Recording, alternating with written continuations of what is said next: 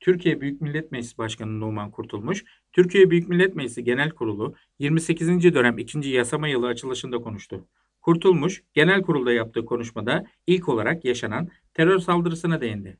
diyoruz ve bizim terörle mücadelemiz sadece son terörist kalmayıncaya kadar değil, bunun çok daha ötesinde terörün arkasındaki bütün nedenler ve destekler ortadan kaldırılıncaya kadar devam edecektir.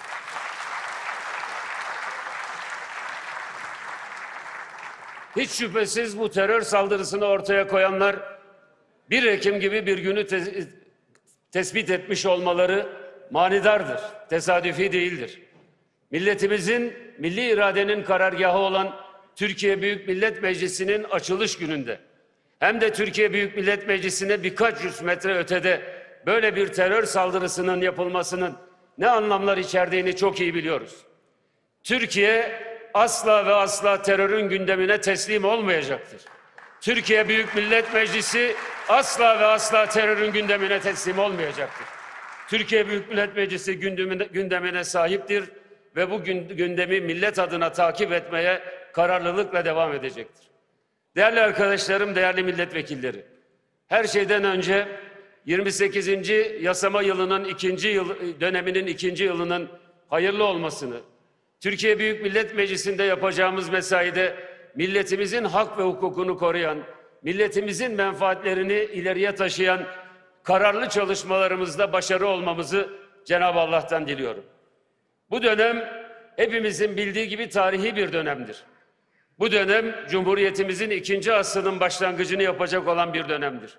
İnşallah bu ayın içerisinde 29 Ekim'de Cumhuriyetimizin ikinci asrına hep beraber gireceğiz. Onun için diyoruz ki bizim gibi büyük milletlerin mefküreleri olur, hedefleri olur, varmak istedikleri hedefler olur. Bu bü- Büyük Millet Meclisi'ni kuran irade, Türkiye Büyük Millet Meclisi'ni 1920 şartlarında bağımsızlık ve özgürlük fikri etrafında kurmuştur.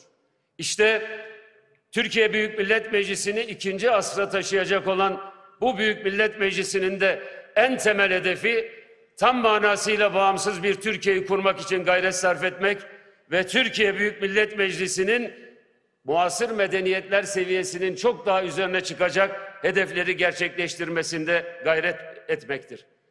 Bu vesileyle Türkiye'nin ikinci yüzyılını hep beraber milli mefküremizin, milli hedeflerimizin etrafında değerlendirecek ve ikinci asrımıza girerken bu meclisin sözü güçlü, gücü tesirli bir Türkiye'nin yüzyılı olması için ikinci asrımızı değerlendirecek adımları atacağından eminiz.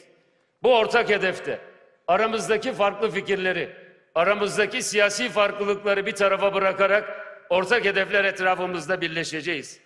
Bunun için hiç şüphesiz meclisin itibarının, siyasetin itibarının yükseltilmesi herkesin sorumluluğu olduğu gibi en başta Türkiye Büyük Millet Meclisi mensupları olarak bizlerin sorumluluğudur.